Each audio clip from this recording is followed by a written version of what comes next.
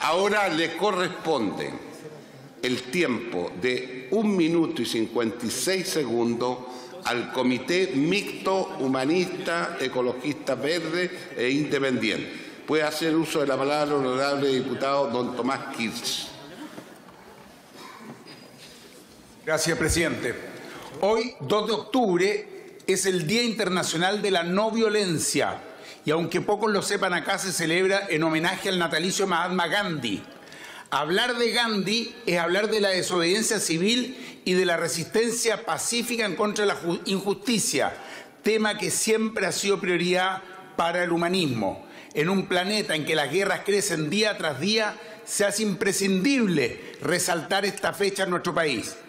En nuestro planeta se ha instalado con mucha fuerza la conciencia de la defensa medioambiental y aunque muchos gobiernos nieguen el peligro de la actual crisis climática, todos toman medidas obligadas por la presión social que ha crecido.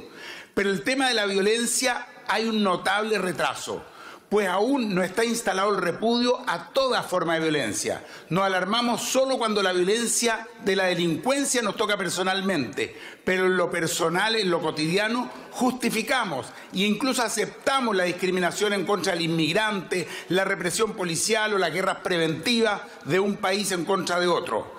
Tal como expresar asilo, es necesario avanzar en una conciencia planetaria que repudie todo tipo de violencia.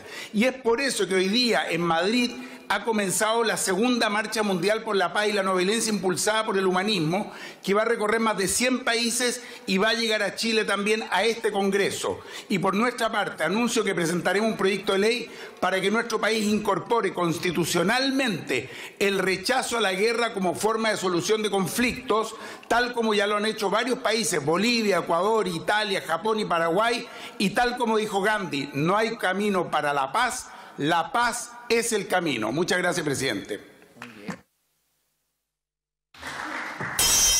Gracias, señor diputado.